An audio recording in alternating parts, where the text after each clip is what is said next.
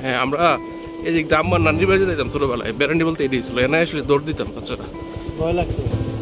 ভয় ভয় না মানে পাহাড়ের ফিলিংস মানে দৌড় দিয়ে ছোটরা তো শুধু পাইলেই এটাও কিন্তু আমাদের গ্রামে। এই এখন এডিট করছি।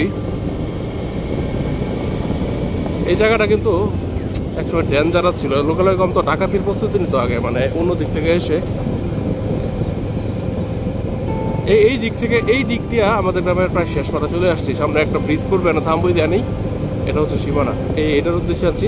এই জায়গার বেস্ট ফিলিংস হচ্ছে দুপুরে করকরা রোদ্রে বসন্তকালে যখন ধানগুলো সবুজ হয় বা পাকে সেরকম সময় আমারও আসে ড্রোন উড়ানো হয় নাই।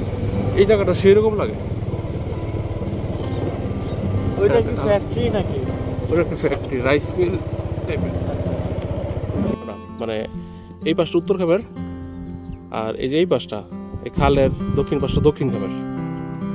এবং এই পশ্চিম পাশটা হচ্ছে নবীপুর। কাছে কিন্তু মেইন রোড যে বাস দেখা যায়। আচ্ছা সড়ক। মনে দিছে কলাসা পানি দিতাম। এটা যে একটা অদ্ভুত আনন্দ থাকতো ছাই দিতাম।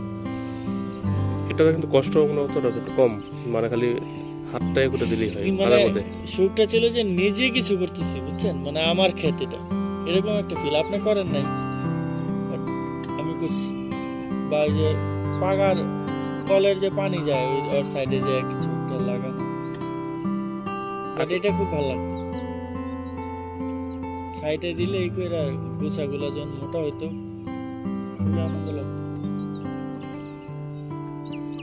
জ্বালাপাট অর্থাৎ ধানের, ধান লাগানোর পর ধান থেকে যে বীজ, সেই বীজগুলো ধান খেতে লাগানোর জন্য যে প্রস্তুতি, সেটি জ্বালাপাট। এখন ধান লাগানোর প্রস্তুতি চলছে, এটি প্রায় শেষ। একটি খালের পারে আছি। একদম প্রত্যন্ত অঞ্চল। মাটির রাস্তা। টেকনিক্যাল বিষয় তো, প্রযুক্তিগত ওই যে আমি মোবাইলে ভিডিও করতেছি এডিট করতেছি মোবাইলে, ওরা কীভাবে করে? আর আমার করতে করতে ইদানিং যে চেঞ্জটা আসছে ভিডিও টপিক নিয়ে এই জিনিসটা আমার জন্য হেল্পফুল আগে তো শুধু ট্রাভেল রিলেটেড লোকেশন এটা অমুক জায়গা, এখানে যেতে হয়। আমি ওই লোকেশন থেকে ধীরে ধীরে বেরিয়ে আসতেছি। ওটা তো থাকবেই। জাস্ট ওই যে, ওই অর্কিডের মতোই আর কি।